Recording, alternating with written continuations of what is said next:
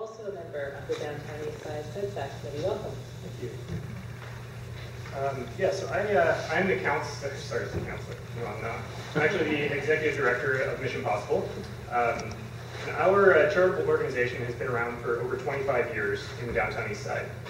Uh, but it was back in 2009 that we began our first social enterprise.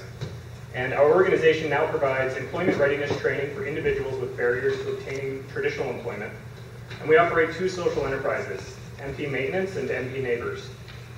We are on track to train over 100 individuals uh, this year, uh, as well as place uh, 50 people in transitional jobs. Over the last seven years, we've employed nearly 175 individuals.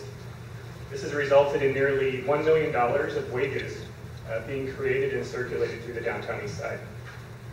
The reason I mention these milestones is not for recognition, but because these accomplishments are, at least in part, uh, due to many of you right here in these chambers. In 2009, we were given the opportunity to begin hiring individuals in the downtown east side through the Great Beginnings funding. This allowed us to leverage that available funding, bring on other social impact investors, and ultimately, we began to see individuals move toward more stable, sustainable livelihoods through part-time transitional employment.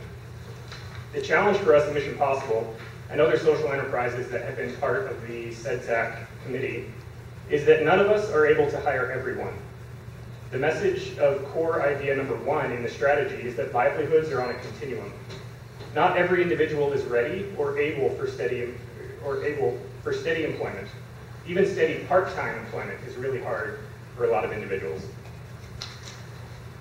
That's why it's so important that there be a diverse array of opportunities that serve people at various point, points on the continuum.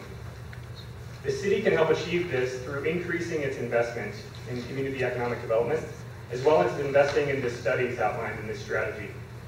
These studies will help us understand the economic landscape better, identify deficiencies, and continue to create solutions. I'm confident in West Regan asking for this investment for the downtown Eastside community because I know that this kind of investment works. I'm a firm believer that none of us in this beautiful city are locked into a certain income or ability bracket. When Vancouverites have the opportunity and the support we need, we are often able to make small incremental moves across the employment continuum. It's true for individuals who are struggling with the effects of poverty as well. When the assets, abilities, gifts, and talents of individuals are utilized and enlivened, they can reach their potential. Not only that, but they can redefine their potential altogether. It was Jane Jacob who said that poverty has no causes, only prosperity has causes. There are a, lot, a large host of organizations and individuals working to create prosperity both socially and economically for those who are currently lacking it and have been part of this, this strategy. I hope that you will see fit to fund the initiative.